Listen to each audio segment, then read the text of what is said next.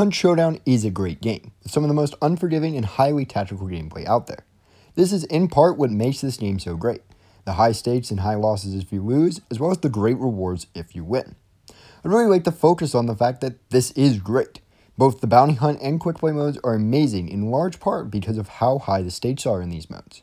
However, I would like to put a proposal of a less risky game mode, one that's chiefly designed for those who want more casual gameplay that can also be used to help learn the gunplay of this game for newer players. So, let's get right into this idea.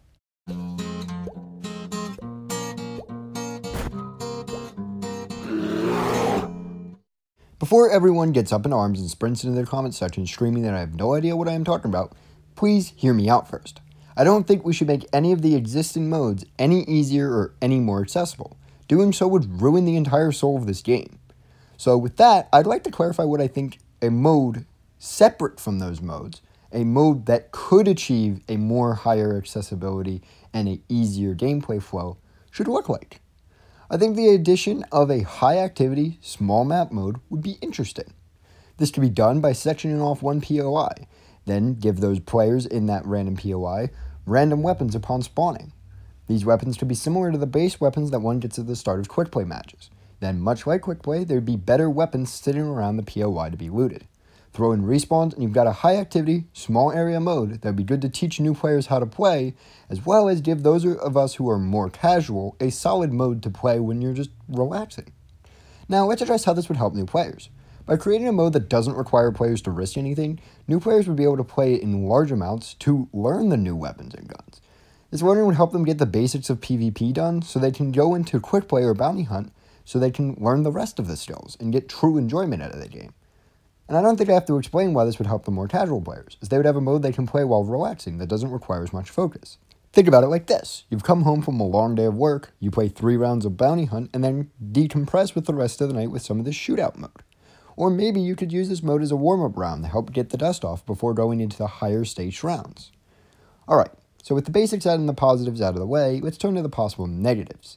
First would be the possibly longer queue time, since we would be taking players away from the main modes.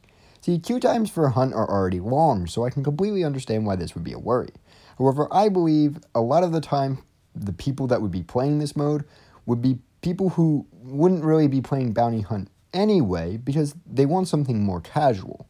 You know, think of it like your warm up rounds, your decompressing rounds at the end of your night, or your learning rounds. So these already wouldn't be in the bounty hunt cycle. I do think this may hurt the player count of quick play. However, as most players of quick play seem to main that mode, it may not be that large of a drop off. As long as we don't add stats for the shootout mode, then the competitive nature of quick play will continue to attract people. Next issue will be the developmental time. For this, I can completely understand. We don't want the devs wasting resources. But I'd like to mention that they wouldn't really have to design a new map for this. And really, the main of the work would be figuring out how to code this. And seeing as they've already added the barely used trial mode, I think it's clear to see that the devs are okay with adding extra modes, and as of such, adding a mode that would likely see a lot of gameplay like this shouldn't really be seen as something so far off of their radar.